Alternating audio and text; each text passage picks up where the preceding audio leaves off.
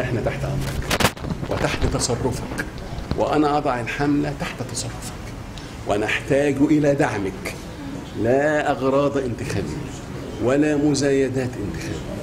ادعم هذه الحملة وهي قائمة وهي جل أعضائها من المحامين أعضاء الجمعية العمومية لنقابه المحامين يا سعادة النقيب ادعم حملة الدفاع عن المحامين. حملة الدفاع عن المحامين مش ضدك ولم تنشأ ضدك ولم تؤسس لتكون ضدك إنما هي مع المحامي. أينما كان. بدل ما تبحث لسه عاوز تاسس لجنة لا إحنا جاهز- جاهزين. وإحنا شغالين ادعمنا وأيدنا وادينا صلاحيات ونعدك ألا نتداخل في العملية الانتخابية.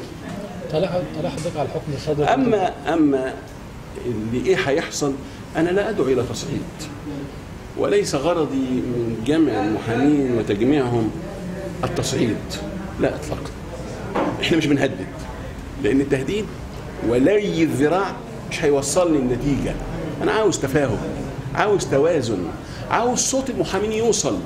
المشكلة أن من لديهم الصلاحيات ولديهم آه، المناصب في نقابة المحامين بيؤثروا المصلحة الخاصة على المصلحة العامة.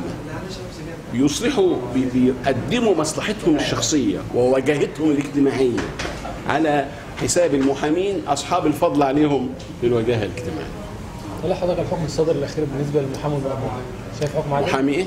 بالنسبة لقضيه فارسكور.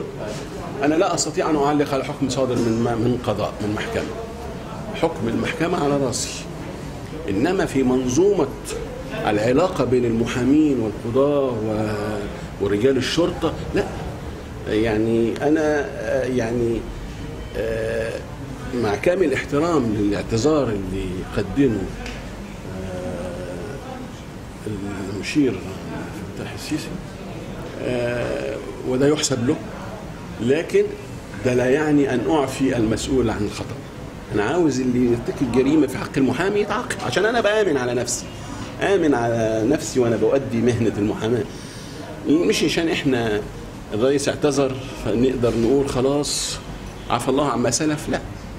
إحنا هنواصل. المفروض إن في استئناف والمفروض إن إحنا آه، يعني على الأقل فيها أو في غيرها لازم اللي يرتكب جريمة ضد محامي يتحاسب. وإلا ده هيبقى مبدأ عام. طب في آلاف اللي صادرة ضدهم أحكام عندهم استعداد يعتذروا. إذا كان الاعتذار ده هيطلعهم من السجن.